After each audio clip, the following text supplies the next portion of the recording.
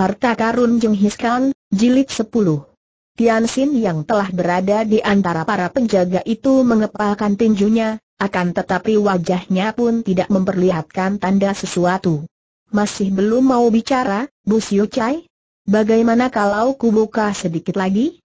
Tangan itu kembali bergerak, terdengar kain robek dan kini penutup dada Kim Hang telah terbuka sama sekali. Nampak bagian depan tubuhnya dari perut ke atas. Gadis itu tetap memejamkan matanya dan wajahnya tetap biasa saja. Demikian hebat gadis ini sehingga dalam keadaan seperti itu, ia masih dapat bersikap tenang dan seolah-olah ia telah dapat mematikan rasa. Kok Siang langsung membuang muka sambil mengeluarkan suara kutukan. Demi Tuhan, Moko, engkau bukan manusia. Janganlah lanjutkan. Hahaha, kalau engkau tetap tidak mau mengaku tentang peta itu, aku akan menyuruh dua orang prajurit untuk memperkosanya di depan matamu, Bu Tsai. Buto aku, jangan dengarkan dia. Dia hanya mampu menghina tubuhku, akan tetapi tidak mampu menjamah hatiku. Paling-paling aku mati, atau kalau tidak, maka hinaan ini tentu akan dibayarnya dengan bunga berlipat ganda. Jangan mengaku, karena sekali engkau mengaku, maka nyawa kita akan tidak ada harganya lagi demikian Kim Hang berkata, suaranya tetap tenang, sama sekali tidak gemetar. Hem, biarpun hatiku berat sekali rasanya, agaknya engkau benar, Nona, jawab Kok Siang. Pat Pimoko menjadi semakin marah. Kakek ini sudah menggerakkan tangan lagi untuk merenggut penutup tubuh terakhir, akan tetapi tiba-tiba Sutong Hak mendekatinya dan berbisik, Pemuda itu tentu akan menyerah kalau melihat kekasihnya yang terancam. Mendengar ini, tiba-tiba Pepi Moko tertawa. Hahaha, engkau benar juga dan sambil tertawa-tawa kakek hitam tinggi besar itu lalu berlari keluar dari dalam ruangan itu. Tidak lama kemudian dia sudah kembali sambil menarik tangan seorang gadis, atau lebih tepat lagi setengah menyeretnya. Gadis itu bermuka pucat, sedangkan matanya merah bekas menangis, rambutnya dan pakaiannya kusut. Murid durhaka, lihat siapa itu, dan selamatkan nyawanya. Dia akan kubebaskan kalau dia mau mengaku tentang peta asli kata Pet Pimoku sambil mendorong gadis itu ke depan, ke arah depan di mana Kok Siang rebah terlentang. Siang Koko gadis itu menubruk, berlutut dan menangis di dekat dipan. Dwe E Moy, engkaukah ini? Hem, akhirnya engkau juga merasakan kekejaman iblis yang menjadi guru dan pamanmu sendiri kata Kok Siang sambil mengerutkan alisnya. In Wei E merangkulnya dan menangis di dada pemuda itu. Siang Koko, demi keselamatanmu, menyerah sajalah, katakan kepadanya tentang peta itu, ahaha, Koko, kalau engkau mati, aku pun tidak mau hidup lagi, berikanlah peta itu dan mari kita pergi berdua, tidak mencampuri urusan ini dan aku rela hidup melarat asal selalu bersamamu, Koko. Gadis itu menangis sehingga Kim Hang mengerutkan alisnya. Dia tidak mencela gadis itu bahkan kagum akan cinta gadis itu terhadap Kok Siang. Akan tetapi gadis itu juga telah memperlihatkan kelemahannya dan hal ini merusak siasat mereka berdua yang hendak mempertahankan peta. Siapa tahu, demi cintanya terhadap gadis itu, Kok siang akhirnya mau menyerah dan kalau sudah begitu, maka percuma sajalah semua siasat mereka dan akhirnya mereka semua akan celaka. Huh, tolong dia membentak. Apakah kalau peta itu diberikan, iblis itu mau melepaskan kita bertiga? Jangan kira begitu enak, ya? Bahkan dia akan segera membunuh kita semua untuk menutup mulut kita seperti yang dilakukannya terhadap diri Chiang Kim Su dan juga Low Siu Chai dia sengaja menyebut nama Low Siu Chai untuk membakar semangat Kok Siang. Dan dia berhasil. Kok Siang yang tadinya ragu-ragu ketika melihat dan mendengar tangis kekasihnya, kini nampak bersinar-sinar matanya. Moko, muslihat apa pun yang kau lakukan, peta itu takkan ku berikan kepadamu teriak Kok Siang. Wee Moy, jangan kecil hati.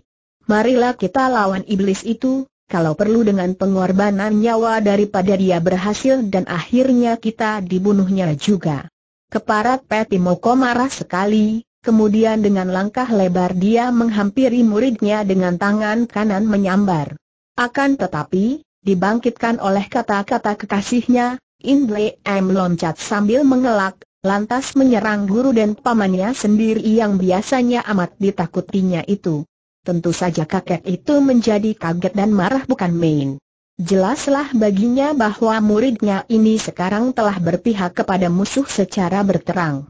Dia telah menangkap muridnya, ketika mendengar laporan bahwa muridnya itu diam-diam pada malam buta mengunjungi pendekar sadis.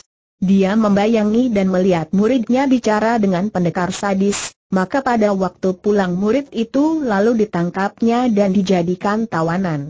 Kini, melihat Ingwe melawan, cepat dia pun turun tangan dan tentu saja gadis itu bukan lawannya. Hanya dalam beberapa gebrakan saja, dia telah berhasil merobohkan In Wee dengan dua kali totokan, membuat gadis itu roboh dengan tubuh lemas dan tidak mampu bangkit kembali, rebah miring dengan kaki dan tangan seperti lumpuh rasanya. Murid murtad. Kalau begitu biar kekasihmu melihat engkau diperkosa di depan matanya. Tiat Chiang Lai Chaiko yang perutnya gendut dan matanya jeling, Rambutnya riap-riapan itu segera maju dan menyeringai. Hei hei hei hei, tuaku, kalau memang gadis ini hendak diperkosa, serahkan saja kepadaku untuk melaksanakannya. Sudah lama aku tergila-gila padanya, hanya karena mengingat dia itu muridmu maka aku tidak berani mengganggu. Sekarang dia berkhianat dan berpihak kepada musuh, kalau memang mau diperkosa, biar aku yang boleh, lakukanlah. Akan tetapi harus di sini dan sekarang juga, supaya kekasihnya dapat melihatnya kata kakek tinggi besar berkulit hitam itu. Tiat Chiang Lui Chai Kwa adalah seorang begal tunggal yang usianya sudah 45 tahun, kejam dan sudah terbiasa dengan kekerasan. Perasaannya sudah kebal sehingga tak mengenal malu lagi. Maka, biarpun di situ terdapat banyak orang yang menyaksikan, tanpa malu-malu dan sambil tertawa bergelak dia maju menghampiri tubuh Ngwe yang menggelepak di atas lantai dengan lemas itu. Moko, manusia iblis. Tega engkau terhadap murid dan keponakan sendiri Kok Siang berteriak-teriak. Bret sebagian dari baju Ngwe terkoyak dalam genggaman tangan Tia Chiang Lui Chaiko. Semua mati mereka yang hadir, juga para penjaga, langsung terbelalak adapun jantung mereka berdebar tegang membayangkan peristiwa yang akan mereka saksikan di dalam ruangan itu. In Wee sendiri tidak lagi mampu bergerak, hanya matanya terbelalak seperti seekor kelinci yang berada dalam cengkeraman kuku harimau. Hahaha, engkau sungguh manis sekali. Aha, malam ini untungku benar-benar besar Tia Chiang Lui Chaiko langsung merangkul, meremas dan menciumi muka gadis itu yang hanya dapat mengeluh akan tetapi tidak mampu bergerak untuk melawan. Semua orang yang hadir terbelalak melihat adegan ini, ada yang menelan ludah, ada yang membuang muka, ada yang tertawa-tawa dengan mata melotot hampir keluar dari rongga matanya. Si tangan besi Lui Chaiko adalah orang yang sudah kebal, sama sekali tidak mengenal malu dan dia beraksi seolah-olah di tempat itu tidak ada orang lain. Tangannya meraih dan hendak menanggalkan sisa pakaian In Wei. Tahan mendadak Kok Siang berteriak, matanya terbelalak, mukanya pucat. Moko, aku mau mengaku. Akan tetapi Tia Chiang Lui Chaiko bagaikan tidak mendengar seruan ini dan hendak terus melanjutkan perbuatannya. Baru sesudah Moko sendiri melangkah maju lantas menepuk pundaknya, dia berhenti dan memandang kecewa, akan tetapi tidak berani membantah. Tiat Chiang, kau mundurlah, kata Pet Moko. Tiat Chiang Lui Chaiko bangkit dan mundur, matanya melotot ke arah Kok Siang, kelihatan kecewa, mendongkol dan sangat marah. Daging yang sudah tersentuh bibir itu, sebelum dapat digigit dan dikunyah lalu ditelannya, telah direnggut orang dan terlepas. Kim Hang mengerutkan alisnya, akan tetapi hanya dapat memandang kepada sastrawan muda itu. Habislah harapannya. Dia tahu bahwa Kok Siang dan In Wei hanyalah orang biasa yang jalan pikiran serta perasaannya sudah tercetak semenjak kecil sehingga sama dengan jalan pikiran dan perasaan umum pada waktu itu. Wanita diperkosa merupakan hal yang paling hebat bagi mereka, merupakan malapetaka yang tidak dapat diperbaiki lagi, seperti kematian, bahkan dianggap lebih hebat daripada kematian. Karena inilah maka Kok Siang tak mampu bertahan ketika melihat kekasihnya hendak diperkosa di depan matanya. Alangkah bodohnya. Apakah kalau pemuda itu telah mengaku lalu Ing E terbebas daripada ancaman pemerkosaan atau pembunuhan? Moko, aku mau mengaku tentang peta yang asli, akan tetapi engkau harus berjanji lebih dulu bahwa engkau tak akan membiarkan Nona Tuan dan In E diperkosa orang. Kalau engkau tidak mau berjanji, meski apa pun yang terjadi, maka jangan harap aku akan mau mengaku, kata Kok Siang dengan suara lantang. Baiklah, aku berjanji bahwa mereka berdua tidak akan diperkosa, kata Pet Pimoko dan wajahnya nampak berseri gembira sekali. Ingat, Moko, bagi seorang yang berkedudukan tinggi seperti engkau, biar hanya sebagai seorang datuk sesat, Janji merupakan sumpah yang lebih berharga daripada nyawa. Aku percaya bahwa engkau tidak akan melanggar janjimu tadi, disaksikan oleh semua orang yang mendengarnya. Wajah hitam itu semakin hitam dan sepasang metu itu mendelik. Bu Cai, kau kira aku ini orang macam apa maka akan melanggar janji sendiri? Bagus, kalau begitu aku akan mengaku dengan hati lapang. Engkau dengarlah baik-baik. Aku adalah keponakan dari mendiang Lo Siu Chai. Semua orang sangat terkejut, terutama sekali Su Tong Hak dan Hai Pacu Ken Hoa yang menjadi pelaksana dari pembunuhan terhadap Lo Siu Chai. Hem, kiranya begitukah kata Pet Pimoko sambil mengangguk-angguk dan dia dapat menduga apa yang telah terjadi. Lanjutkan ceritamu. Paman Lo melihat gelagat yang tidak baik ketika Su Tong Hak beserta keponakannya datang untuk minta peta itu diterjemahkan. Paman sama sekali tidak menginginkan benda orang lain, akan tetapi dia tahu bahwa Su Tong Hak bukan manusia baik-baik dan bahwa keponakannya, pemuda dusun itu akan tertipu. Karena itu diam-diam paman minta waktu satu hari untuk menerjemahkannya lantas menukar peta yang asli itu dengan peta palsu. Adapun peta yang asli lalu disembunyikannya dengan maksud kelak akan dikembalikan kepada yang berhak. Akan tetapi pemuda dusun itu akhirnya lenyap. Paman lalu menulis surat kepadaku dan memberitahu tentang tempat peta asli disembunyikan. Ternyata aku terlambat dan paman telah terbunuh oleh kaki tanganmu. Dan peta itu, di mana Pet Pimoko seakan-akan tidak mendengar cerita itu karena pikirannya segera terpusat kepada peta yang asli. Di suatu tempat, di kebun rumah mendiang Paman Low, katakan di mana agar kami dapat membuktikan kebenaran omonganmu. Kalau engkau membohong, tentu janjiku tak akan berlaku dan aku akan menyuruh dua orang wanita ini diperkosa di depan matamu sampai keduanya mampus, sebelum engkau disiksa sampai mati pula. Di kebun itu ada sebatang pohon tua di dekat rumpun bambu, pada cabang yang ketiga dari bawah terdapat lubang. Di situlah disimpannya peta itu, di dalam peti kecil. Mendengar ini, Pat Pimoko segera memerintahkan para pembantunya untuk melakukan pengajaan ketat. Langsung bunuh saja mereka ini kalau ada tanda-tanda mereka hendak memerontak. Juga kalau pendekar sadis berani muncul, bunuh mereka ini dengan alat rahasia dalam kamar pesannya dengan suara lantang. Kemudian, dengan membawa pasukan penjaga yang 50 orang banyaknya, Pat Pimoko sendiri berangkat menuju ke rumah Lo Siu Chai di pinggir kota raja untuk mencari peta seperti yang diceritakan oleh Bu Kok Siang itu. Malam hari itu juga, Pat Pimoko datang kembali dengan kegirangan yang meluap-luap peta itu telah ditemukan. Dengan wajah berseri dia pun memasuki ruangan tempat ketiga orang muda itu ditahan. Dia mengeluarkan peta yang asli itu dan membebernya di depan Kok Siang dan Kim Hang yang memandang dengan mata berapi-api. Hahaha, sudah dapat olehku. Hahaha. Akhirnya harta pusaka itu, harta karun Jeng Hiskan, terjatuh ke dalam tanganku kakek hitam itu menyimpan kembali gulungan peta ke dalam tubuh, Lantas tiba-tiba dia berkata kepada dua orang pembantunya, yaitu Hai Pacu Ken Hoa dan Tia Chiang Liu Chaiko, sekarang, kalian bunuh bocah Sibu dan gadis Sitoan ini.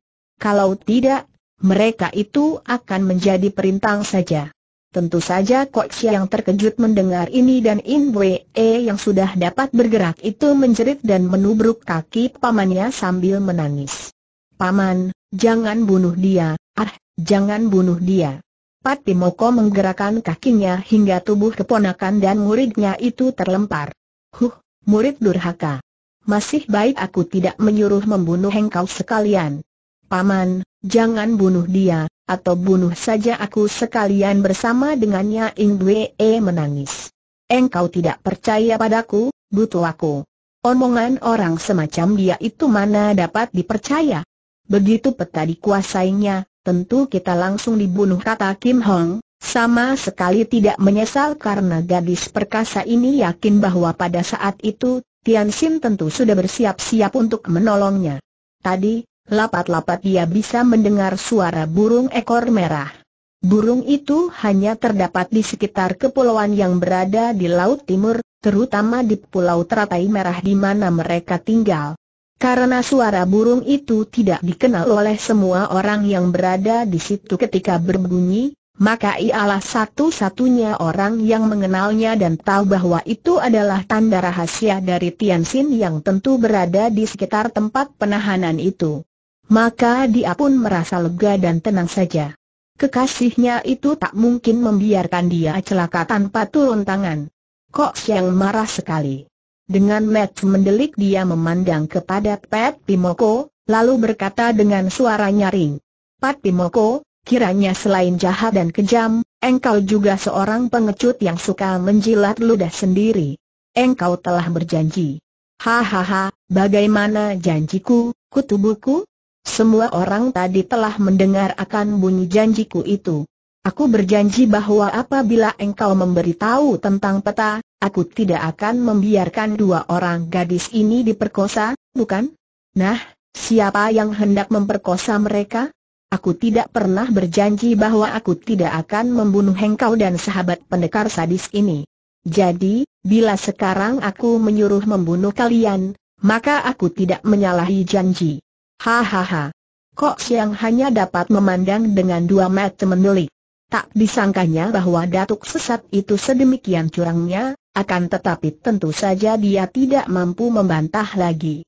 Dia pun bukan pengecut yang takut mati, maka melihat sikap Kim Hang yang tenang, dia pun merasa malu kalau harus banyak ribut untuk mempertahankan nyawanya. Pada saat itu, Sutong Hak melangkah maju mendekati Pet Bimoko. Kurasa tidak benar kalau membunuh mereka sekarang. Sutong Hak. Engkau tadi telah memberi nasihat baik sekali untuk memaksa pemuda itu mengaku. Akan tetapi sekarang kenapa engkau melarang aku untuk membunuh mereka? Mereka itu berbahaya sekali. Sutong Hak tersenyum sambil meraba-raba kumisnya yang kecil panjang. Patimoko, aku melarangmu dengan perhitungan yang amat matang. Coba kau dengarkan baik-baik pendapatku. Pemuda itu sama sekali belum waktunya untuk dibunuh. Meskipun kita telah mendapatkan peta itu, akan tetapi siapa berani menanggung kalau peta itu benar-benar asli? Siapa tahu kalau itu pun hanya palsu saja dan yang asli masih dia sembunyikan di tempat lain? Patimoko nampak kaget dan cepat menoleh, memandang kepada pemuda sastrawan itu yang hanya tersenyum mengejek. Kakek tinggi besar hitam ini mengangguk-angguk, dapat melihat kebenaran pendapat pedagang yang cerdik itu. Maka, membunuhnya sekarang sungguh tidak menguntungkan. Kita selidiki dulu apakah peta ini benar, baru kita boleh membunuhnya. Demikian pula dengan nona itu. Bukankah dia itu sahabat baik pendekar sadis? Kalau dia masih berada di tangan kita, setidaknya dia akan berguna untuk dijadikan sandera, untuk mencegah pendekar sadis mengganggu kita sampai usaha kita berhasil. Bagaimana pendapat ini, tepatkah?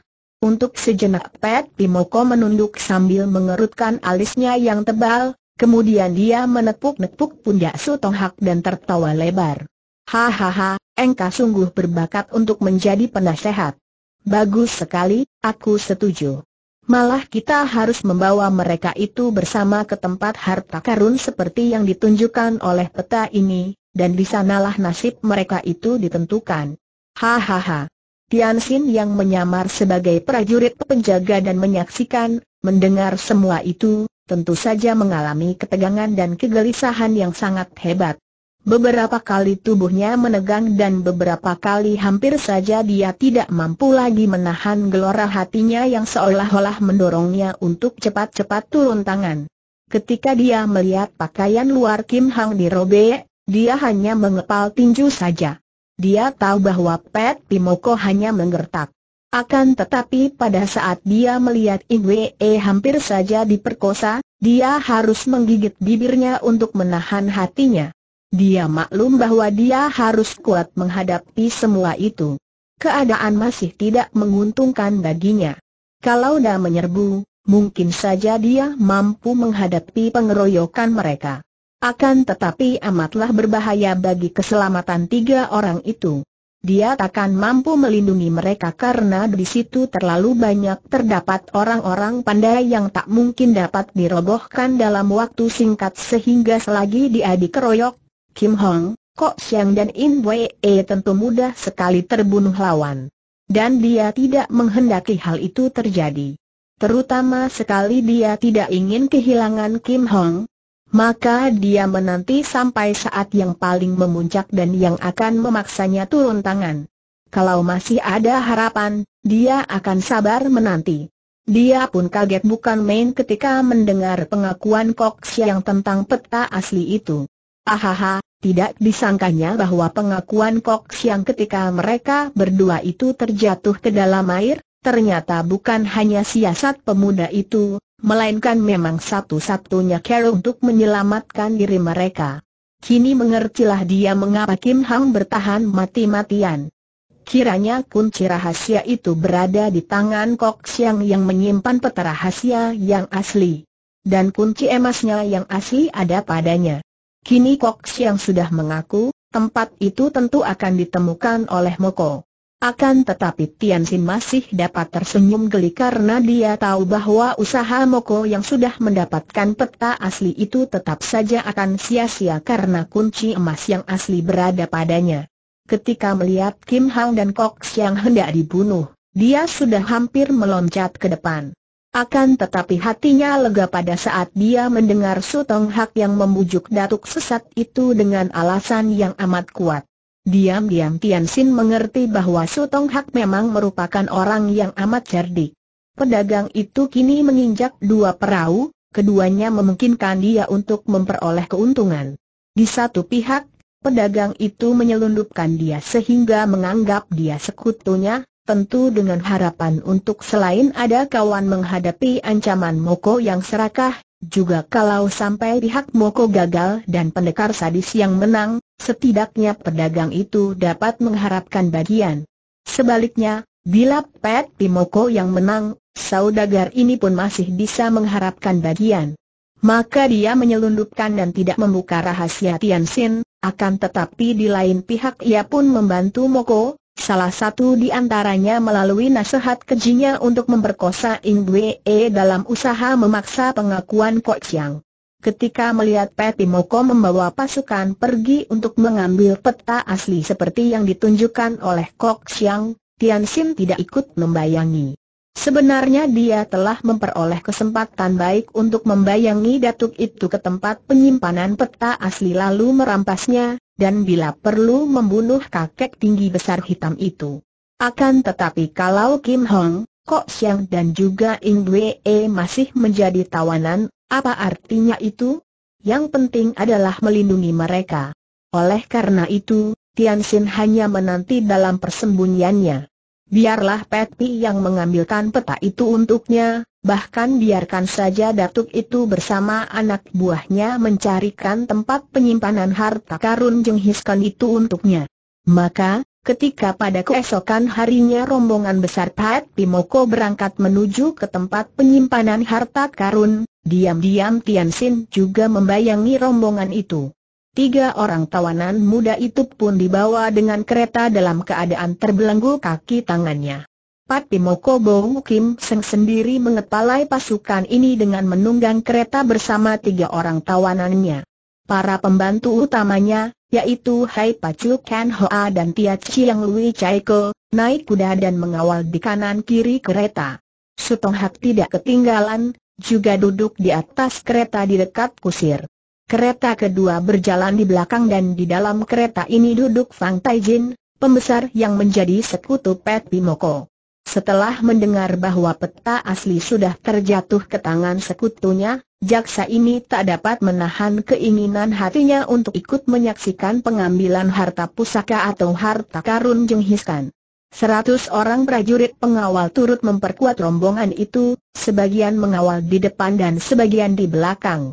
Mereka itu bukan hanya mengawal untuk menjaga agar jangan ada pihak lawan, terutama sekali pendekar sadis yang masih mendatangkan rasa gentar di dalam hati Petimoko, akan tetapi juga dipersiapkan untuk bekerja di tempat penyimpanan harta karun, kalau-kalau untuk mengambil harta karun itu diperlukan banyak tenaga untuk menggali dan sebagainya. Perjalanan itu cukup jauh dan merupakan perjalanan yang sangat menarik karena tempat itu ternyata berada di luar tembok besar. Mula-mula jantung Tian Sin berdebar tegang ketika rombongan itu menyeberang tembok besar di sebelah utara kota raja karena jalan itu menuju ke lembah naga. Akan tetapi ternyata rombongan itu memblok ke timur. Kalau dari luar tembok besar itu kemudian dilanjutkan ke utara sampai kaki pegunungan Hingansan di tepi sungai Wangho, di sanalah letaknya lembah naga tempat tinggal ayah angkatnya, si pendekar lembah naga Chiasin Leong. Namun ternyata perjalanan ini tidak sejauh itu dan sesudah menunda perjalanan semalam di sebuah dusun, pada esok harinya mereka sampai di tempat tujuan, yaitu di kota Yingkou, sebuah kota pelabuhan yang letaknya di Teluk Cili atau Teluk Toh Ai sebelah utara. Setelah mereka tiba di kota Yingkou, kehadiran Jaksa Fang ternyata amat berjasa dan berguna. Pembesar setempat menyambutnya dengan penuh hormat dan memberi tempat menginap yang layak, bahkan juga menjamu mereka dengan makan minum. Kepada para pembesar setempat Jaksa Fang menjelaskan bahwa dia sebagai jaksa kota raja sedang menyelidiki sebuah perkara pencurian dan menurut penyelidikan harta yang dicuri itu telah dilarikan menuju ke tempat ini. Tentu saja para pembesar di kota Yingkou amat terkejut dan bersedia untuk membantu sedapat mungkin. Akan tetapi Jaksa Fang langsung menolak, mengatakan bahwa untuk menemukan harta curian itu dia sudah mempersiapkan para pembantunya, juga pasukan. Sementara itu, tiga orang muda yang menjadi tawanan, yang oleh Jaksa Fang dikatakan sebagai orang-orang yang tersangkut di dalam pencurian besar-besaran itu, dimasukkan tahanan dan dijaga ketat sekali. Pada malam itu, diam-diam Petimoko bersama Jaksa Fang, juga para pembantunya, Sutong Hak, Hai Pacu Ken Hoa dan Tia Chiang Lui Chaiko, mempelajari peta asli yang sudah diterjemahkan itu. Ternyata menurut catatan dalam peta kuno itu, harta karun yang dimaksudkan itu berada di dalam sebuah di antara goa-goa yang banyak terdapat di tepi pantai yang curam, di luar kota Yingkou sebelah timur. Semalam itu mereka tidak dapat tidur, dengan hati tegang mereka menunggu datangnya pagi karena mereka ingin segera dapat menemukan harta karun jenghiskan itu. Pagi itu cerah sekali. Langit bersih, tiada segumpal pun awan yang menghalangi cahaya matahari pagi yang muncul dari permukaan laut, kemudian makin meninggi merubah sinar kemerahan menjadi keemasan, kemudian semakin meninggi dan sinar itu berubah pula menjadi keterakan dan matahari pagi itu agaknya menenangkan lautan yang semalam menggelora dan menyerbu jauh ke pantai. Sekarang ombak mulai kembali ke lautan dan permukaan laut menjadi tenang, hanya ada keriput-keriput kecil yang membuat bayangan jalan putih matahari itu bergoyang-goyang lucu.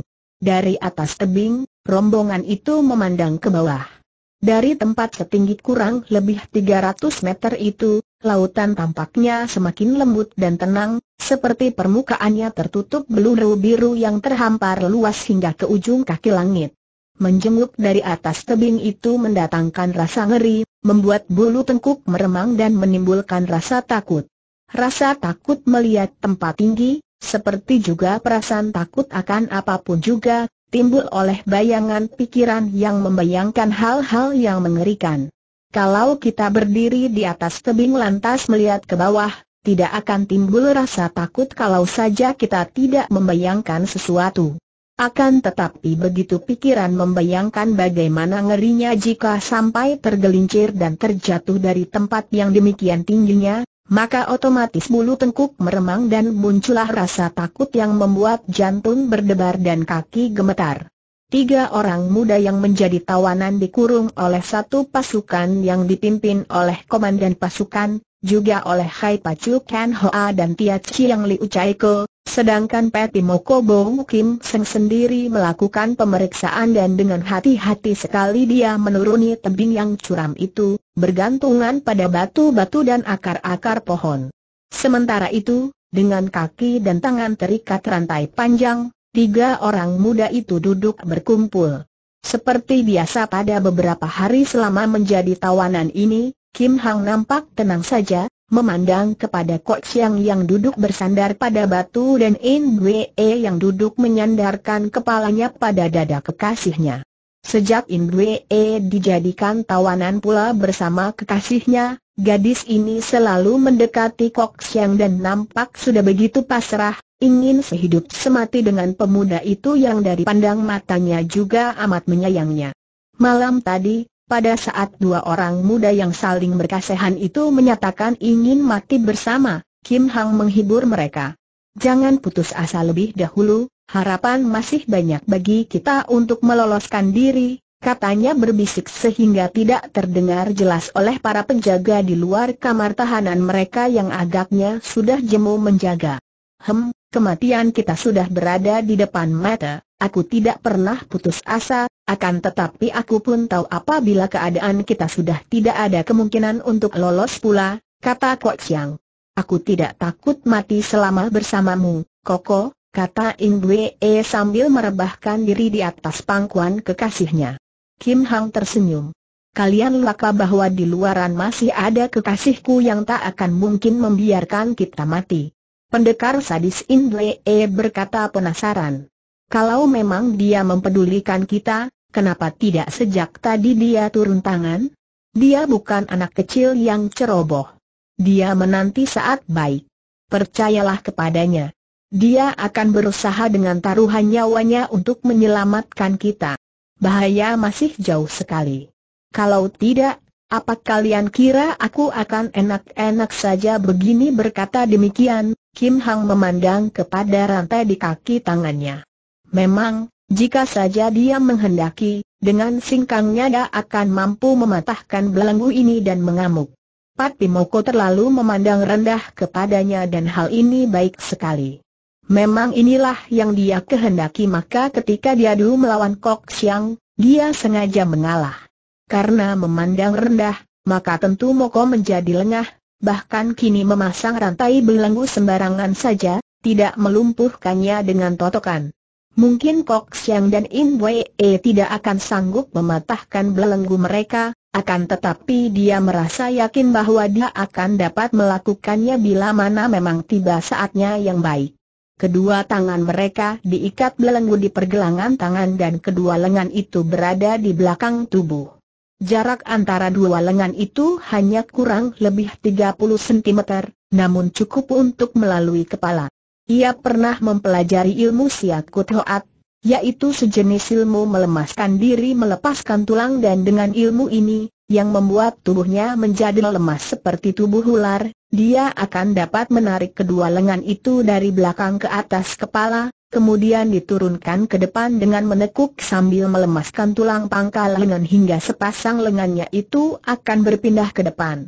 Dengan kedua tangan di depan, ia akan mengerahkan sinkang mematahkan belenggu itu, atau setidaknya, ia sudah akan dapat mempergunakan kedua tangannya untuk membuat para penjaga tidak berdaya lantas merampas kunci-kunci belenggu mereka.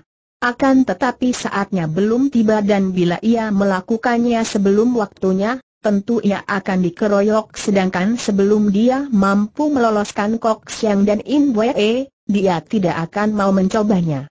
Saat yang ditunggu-tunggu itu adalah saat kemunculan Tian Xin, maka dia tetap bersabar karena merasa yakin bahwa belum munculnya kekasihnya itu tentu atas dasar perhitungan yang matang. Setelah menyelidiki sampai ke bawah, Pat Timoko lalu naik lagi. Dia sudah mempelajari tebing itu dan maklum bahwa hanya para pembantunya yang pandai ilmu silat sajalah yang akan mampu menuruni tebing itu. Padahal, menurut peta, goa di mana harta karun itu disimpan, tertutup oleh batu-batu karang yang berguguran dari atas selama ratusan tahun dan untuk menyingkirkan batu-batu besar ini dibutuhkan tenaga para prajurit. Maka mereka semua harus dapat turun ke bawah, ke tepi pantai di mana terdapat goa-goa itu. Sesudah tiba di atas tebing, Pat Pimoko lalu berunding dengan Jaksa Fang dan para pembantunya, kemudian mengambil keputusan hendak mengerahkan anak buah mereka untuk membuat jalan darurat ke bawah tebing. Mereka memang sudah bersiap membawa alat-alat, dan mulailah seratus orang prajurit itu bekerja, membuat jalan dari atas tebing ke bawah. Lewat tengah hari, mereka semua sudah berhasil menuruni tebing itu dan berkumpul di pantai yang luas di bawah tebing, di mana terdapat goa-goa batu karang yang sebagian besar tertutup dengan batu-batu karang sebesar perut kerbau yang berguguran dari atas. Mulailah mereka bekerja keras membongkari batu-batu karang di depan dan atas sebuah goa menurut petunjuk Moko yang telah mengukur sesuai dengan petunjuk peta. Menurut peta itu, apabila dari bawah ini orang melihat ke atas, maka akan terdapat tonjolan tebing yang bentuknya seperti kepala naga. Goa itu terletak persis di bawah kepala naga itu. Tenaga seratus orang yang dikerahkan tentu saja segera dapat menyelesaikan pekerjaan itu dengan cepat. Setelah matahari mulai condong ke barat sehingga tempat itu tak panas lagi karena sinar matahari tertutup oleh puncak tebing, para prajurit yang bekerja tiba-tiba bersorak ketika mereka melihat goa besar yang tertutup batu-batu tadi. Pati Moko lalu menyuruh mereka semua mundur. Dia sendiri segera mengajak Jaksa Fang, Su Tong Hak, Hai Pacu Ken Hoa dan Tia Chiang Lui Chaiko, beserta dua orang pembantunya yang menarik rantai yang membelenggu ketiga orang muda itu, memasuki goa. Para prajurit disuruh menanti di luar.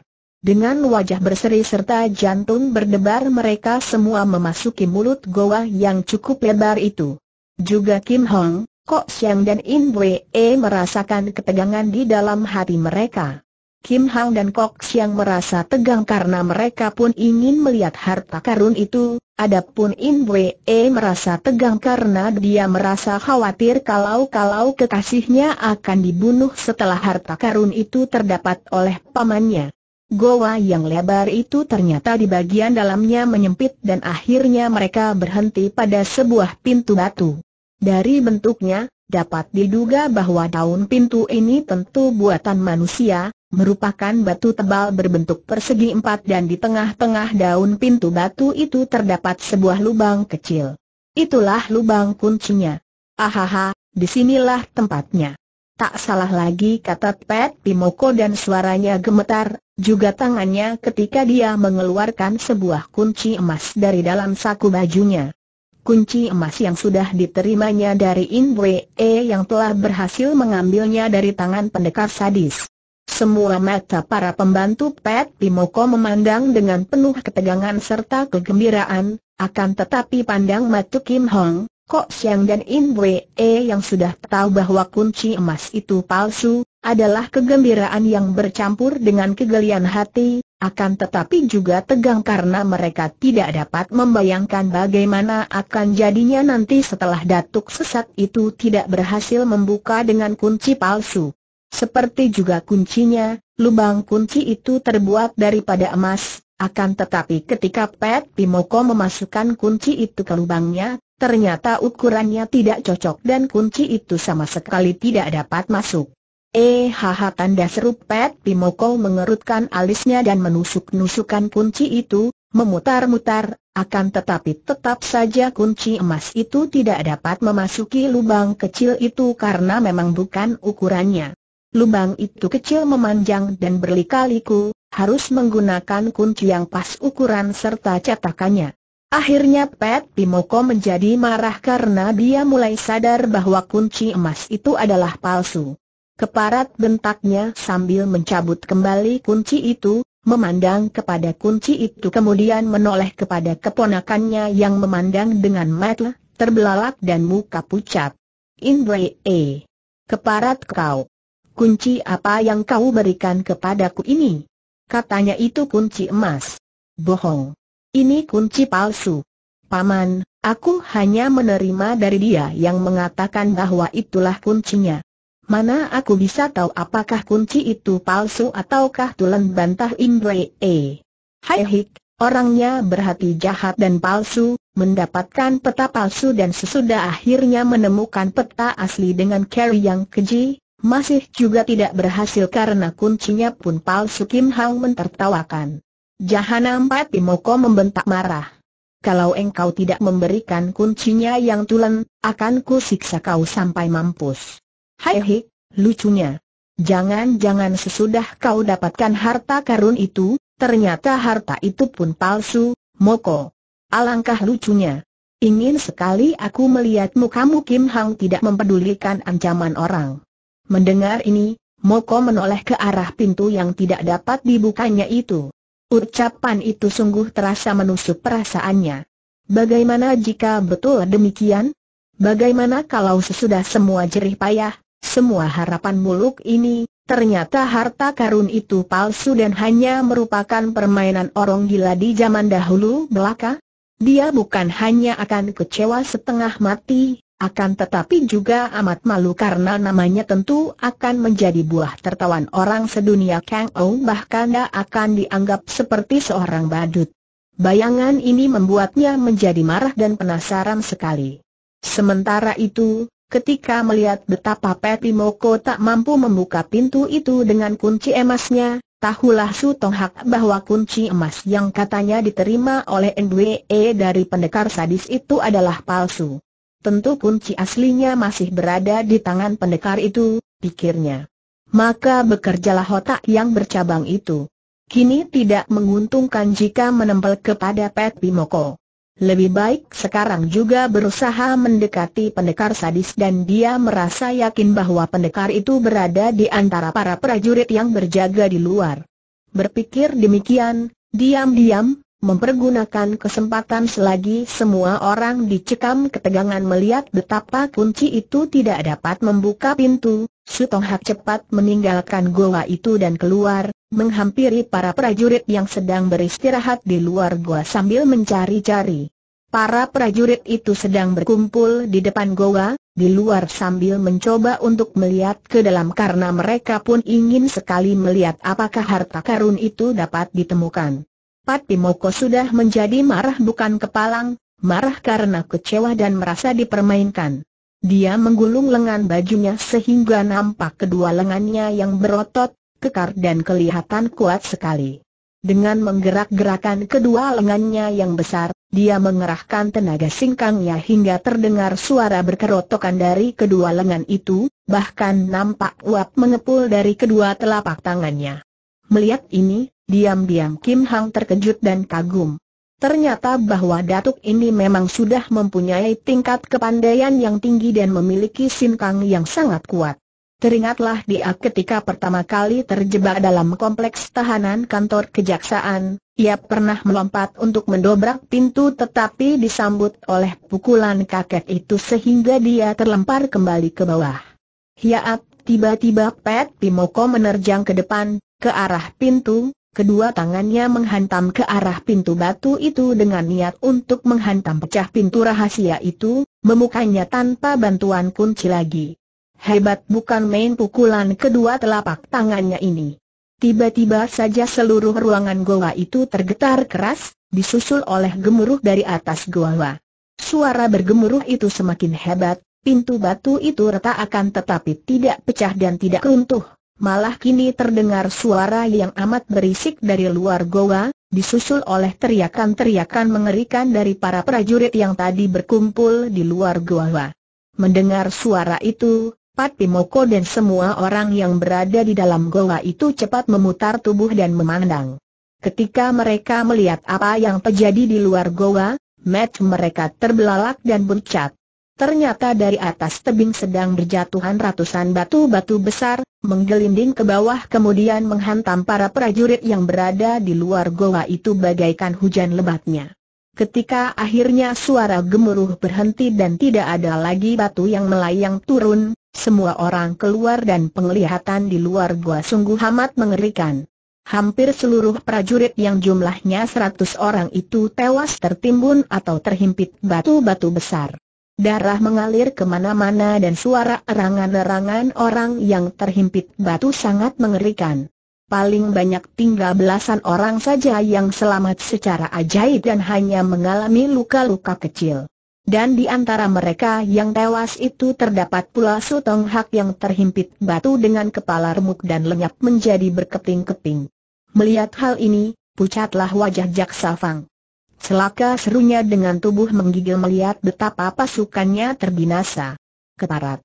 Harus kubunuh berdebah-berdebah itu dan dia pun lari kembali memasuki goa teringat kepada tiga orang tawanannya.